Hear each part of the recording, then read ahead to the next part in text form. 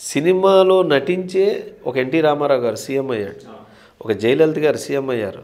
ఒక ఎంజీఆర్ సీఎం అయ్యాడు. ఒక కరుణానిధి సీఎం అయ్యాడు. ఇటువంటి గొప్ప మీడియా ఒక గొప్ప వ్యవస్థ సినిమా అనేది. అటువంటి దాన్ని చులకం చేసి మాట్లాడటం తెలియని వాళ్ళు అజ్ఞానంగా మాట్లాడటం జరుగుతున్నప్పుడు ఏంటంటే వాళ్ళని చూస్తే అజ్ఞానం అనిపిస్తుంది. కొంత బాధ కూడా కలుగుతూ ఉంటుంది ఉంటుంది ఉంటుంది. అందరూ ఒకేలా ఉండరు కదా?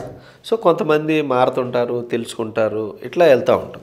అదే అంటే సినిమా మనుషుల్లోనే కాదు పాలకుల్లో కూడా పరివర్తన తీసుకుని వచ్చింది. తీసుకు అది తెలుసుకున్న వాళ్ళకి ఎస్ తెలియని వాళ్ళు ఏంటంటే ఈ మధ్య కొంతమంది సినిమాని చాలా తక్కువ చేసి మాట్లాడుతున్నారు. కొంతమంది తెలియని లీడర్స్.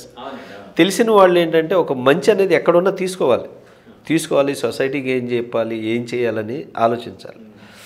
అలా తీసుకుంటే పాజిటివ్గా ఉంటుంది నెగిటివ్గా తీసుకుంటే ఇప్పుడు ఇవాళ సినిమా నువ్వు తక్కువ చేసి చూస్తున్నావు. నిన్ను తక్కువ చేసి చూడటం నాకెంతసేపు?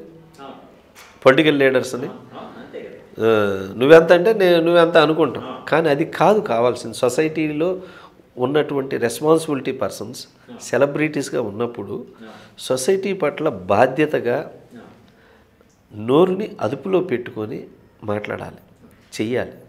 పనులు చేయాలి అట్లాగా దాన్ని పాజిటివ్గా తీసుకొని గొప్పగా ఎదిగిన వ్యక్తి వైఎస్ రాజశేఖర రెడ్డి. రాజశేఖర రెడ్డి గారు ఇప్పుడు మీరు ఇంతకు ముందు చెప్పిన మాట ఇప్పుడు వై ఇప్పుడు వైసీపీ ప్రభుత్వానికి చెంపబెట్టి అంటారా? అంటే అట్లా అన్ను. వాళ్ళని అన్ను. కొంతమందిని అది వైసీపీ అనుకోవద్దు. కొంతమంది నాయకులు ఇండివిజువల్గా ఎనీ పర్సన్ నేను వాళ్ళని వాళ్ళు కొన్ని మంచి పనులు చేస్తున్నారు. ఇలా రిచ్ పర్సన్స్ చేయలేకపోతున్నారేమో కానీ కొంత పేద ప్రజలకు మాత్రం చాలా డీప్ లెవెల్లో చేస్తుంది ఆ ప్రభుత్వం కూడా. అటువల్ల నేను వాళ్ళని పాయింట్ చేసి అంటలే. పొలిటికల్గా నేను చెప్పట్లేదు కొంతమంది పర్సనల్ సినిమా అంటే చిన్న చూపుగా చూసేటువంటి కొంతమంది పొలిటికల్ లీడర్స్ దాన్ని ఇన్స్పిరేషన్గా తీసుకొని గొప్పగా ఎదిగిన వాళ్ళు ఉన్నారు.